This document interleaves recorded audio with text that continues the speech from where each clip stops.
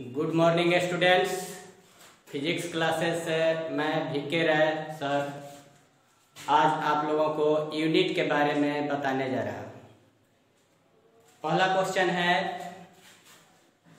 what do you understand by unit what do you understand by unit याद कीजिए, पिछले class में हम फ़िज़िकल क्वांटिटी के बारे में बताए थे और ये बताए थे कि वैसा क्वांटिटी जिसको मेजर करना पड़ता है, उसको हम लोग फ़िज़िकल क्वांटिटी करते हैं। तो मेजर करना पड़ता है। मेजर करने के लिए यूनिट की ज़रूरत होती है। तो वही आज हम यूनिट के बारे में बताने जा रहे हैं। यूनिट क्या है? यूनिट भी एक फ़िज़िकल क्वांटिटी है, छोटा फ़िज़िकल क्वांटिटी और वह दूसरे सिमिलर फ़िज़िकल क्वांटिटी को मेजर करने में काम आता है। A physical quantity used to measure another similar physical quantity as a standard is called unit तो यहाँ स्टैंडर्ड पर ध्यान देना है। मेजर करने के लिए तो हम किसी भी तरह से मेजर कर सकते हैं। For example suppose that you have to measure length of a rod किसी रॉड का लेंथ मापना है मेजर करना है आपको? या suppose that you have to measure a given distance आपको कोई दिया हुआ डिस्टेंस मेजर करना है। तो आप तो डेग से भी उसको मेजर कर सकते हैं। डंडा से भी मेजर कर सकते हैं। तो मेजर तो कर सकते हैं। लेकिन क्या ये एक्सेप्टेबल होगा सभी को? आपको एक प्लॉट लेना है। और प्लॉट वाले से कहिए कि मुझे इसमें से पाँच डंडा दे दीजिए। तो कहेगा ना कि पहले अपना डंडा दिखाइए। डंडा को मीटर में या फीट में मेजर करेगा। उसके बाद आपसे उसका रेट बताएगा। ऐसे नहीं कि अपने प्लॉट में से पाँच डंडा दे दीजिए तो पाँच डंडा दे देगा उसमें से। इसलिए कि आपने जिस डंडा को मेज़रमेंट लेंथ के मेज़रमेंट के लिए यूज़ करना चाह रहे हैं, वह उसको एक्सेप्टेबल नहीं तो ऐसा यूनिट जो सबको एक्सेप्टेबल हो सब लोग उसको एक्सेप्ट करें, उसको स्टैंडर्ड फॉर एग्ज़ाम्पल सपोज़ करें कि आप मीटर का यूज़ करना चाहते हैं लेंथ को मेजर करने के लिए। तो चाहे इंडिया हो या फ्रांस हो या ब्रिटेन हो या अमेरिका हो, और वहाँ का कोई भी नागरिक, सभी को मीटर एक्सेप्टेबल है, सब लोग मीटर को जानते हैं।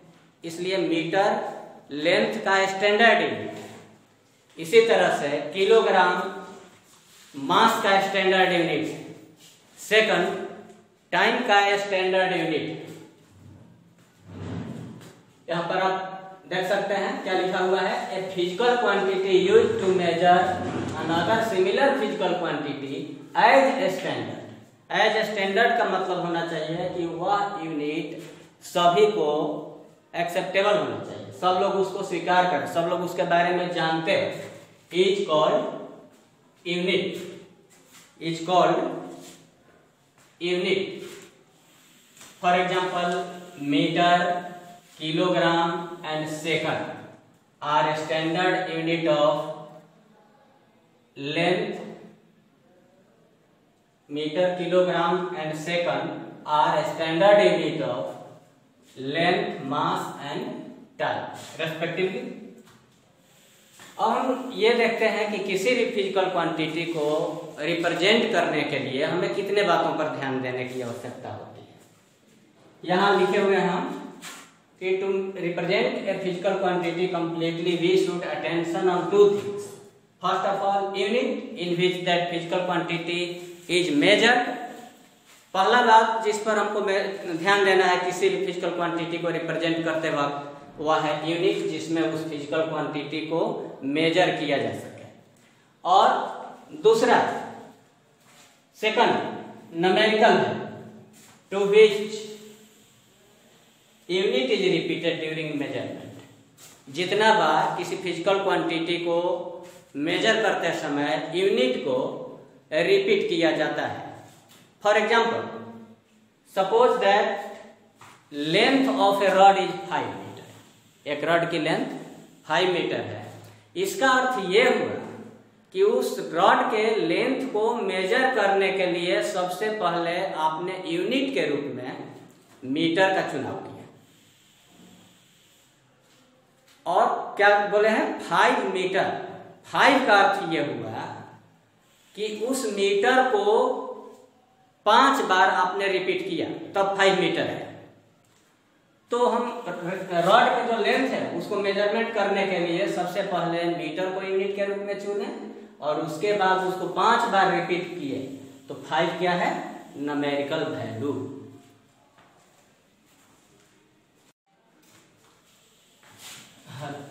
तो हम लोग रॉड के लेंथ को फाइव मीटर लिए थे फाइव मीटर आया था मेज़रमेंट करने के बाद। तो यहाँ रॉड के लेंथ को मेजर करने के लिए हमने यूनिट के रूप में चुनाव किया था मीटर का। और मीटर को फाइव टाइम्स रिपीट किए थे। तो यह हो गया नमेरिकल वैल्यू ये हो गया नमेरिकल और फ़िज़िकल क्वांटिटी का जो मैग्नीट्यूड है, उसको हम अगर क्यू माने Q is equal to five metre है। तो यहाँ magnitude of physical quantity Q is equal to क्या है? फाइव इंटू मीटर तो फाइव है numerical value numerical value into metre unit तो हम लिख दे रहे हैं यूनिट मतलब to represent the magnitude of a physical quantity we multiply unit of that physical quantity with its numerical value. Numerical value into unit is equal to magnitude of that physical quantity.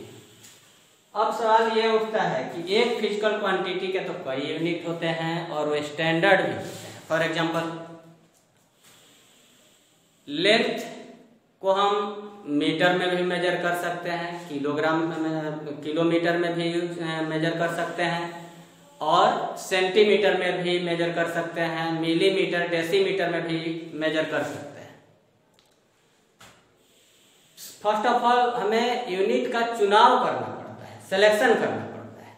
जैसे मान लीजिए कि आपको तीन task दिया गया। पहला task दिया गया कि measure the length of your copy second task है measure the length of length of distance from your house to the market और तीसरा टास्क दिया गया कि measure the distance of Patna from your home city यहाँ तीन task है। तो पहले टास्क में कॉपी का लेंथ मापने को कहा गया था। कॉपी का लेंथ मेजर करने के लिए हमको लगता है कि आप सेंटीमीटर का यूज़ करेंगे। मार्केट का डिस्टेंस मेजर करने के लिए मीटर का यूज़ कर सकते हैं। और पटना का डिस्टेंस मेजर करने के लिए अपने होम सिटी से शायद किलोमीटर का भी यूज़ करेंगे। तो तीन टास्क और तीनों ही लेंथ मापने के लिए दिया गया था but you have use different units to measure different distances length अलग अलग डिस्टेंस या लेंथ को मेजर करने के लिए आपने अलग अलग यूनिट का सिलेक्शन किया तो सबसे पहले क्या करना पड़ता है? यूनिट का सिलेक्शन अब मान लीजिए कि आपने यूनिट का सिलेक्शन मार्केट को का डिस्टेंस मापने के लिए मेजर करने के लिए आपने यूनिट के रूप में मीटर का सिलेक्शन किया। और आप कहते हैं कि distance of market from my house is 200 metre it means to say that you have selected meter as a standard unit of length to measure the distance of your market from your house and it is repeated to 200 times that is numerical value is 200 तो हम लोग क्या पाते हैं कि magnitude of physical quantity is equal to numerical value into unit दोनों को multiply करते हैं तब तो जाकर के आता है अब मान लेते हैं अलग अलग सिस्टम है अलग अलग सिस्टम में यूनिट अलग अलग है। जैसे मान लेते हैं कि पहला सिस्टम में किसी फ़िज़िकल क्वांटिटी को मेजर करने के लिए हमने इवन मैग्नीट्यूड का यूनिट चुना। जब इवन मैग्नीट्यूड का यूनिट हमने चुना तो नमेरिकल वैल्यू आ रहा है एन वन जैसे मान लीजिए कि मीटर चुने तो मार्केट का दूरी आ गया डिस्टेंस आ गया कितना? 200 मीटर अब आप किलोमीटर चुनते हैं तो 0.2 किलोमीटर आता नमेरिकल वैल्यू चेंज हो गया ना? तो इसी तरह से नमेरिकल वैल्यू किसी भी फ़िज़िकल क्वांटिटी का यूनिट अलग अलग चुनाव करेंगे तो नमेरिकल वैल्यू भी चेंज होगा। जैसे फ़र्स्ट सिस्टम में हमने इवन यूनिट का चुनाव किया तो नमेरिकल वैल्यू हो गया एन वन अगर हम यू टू मैग्नीट्यूड का यूनिट चुने होते हैं तो नमेरिकल वैल्यू आ जाता N two U three magnitude का यूनिट चुने होते हैं तो नमेरिकल वैल्यू आ जाता एन थ्री और सो अब हम देखते हैं magnitude of that physical quantity की तो हम तो पढ़े हैं कि नमेरिकल वैल्यू इनटू यूनिट तो फ़र्स्ट सिस्टम में कितना हो गया? नमेरिकल वैल्यू एन वन और यूनिट हो गया यू वन तो एन वन यू वन वही उस फ़िज़िकल क्वांटिटी को दूसरे सिस्टम में मेजर करते हैं तो आता कितना? एन टू यू टू तीसरा सिस्टम में N three U three and so on. For example, Q is equal to 5 meter is equal to 50 decimeter is equal to 500 centimetre देख रहे हैं अलग अलग यूनिट होने पर नमेरिकल वैल्यू भी चेंज हो रहा है। मीटर से छोटा है डेसीमीटर इससे छोटा है सेंटीमीटर तो जैसे जैसे यूनिट छोटा होता जाता है नमेरिकल वैल्यू बढ़ते जा रहा है। As the unit becomes smaller, numerical value becomes greater तो आज हम इस वीडियो को इतना ही पर रोकते हैं।